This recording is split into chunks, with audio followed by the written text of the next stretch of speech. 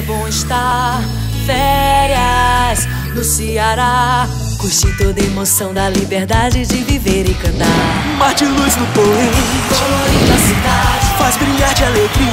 todo sonho da gente. Vem pra cá desfrutar, É festa em todo lugar. vem curtir de verdade. Férias no Ceará. Essa semana tem Jorge Benjó. Toda a emoção da liberdade de viver.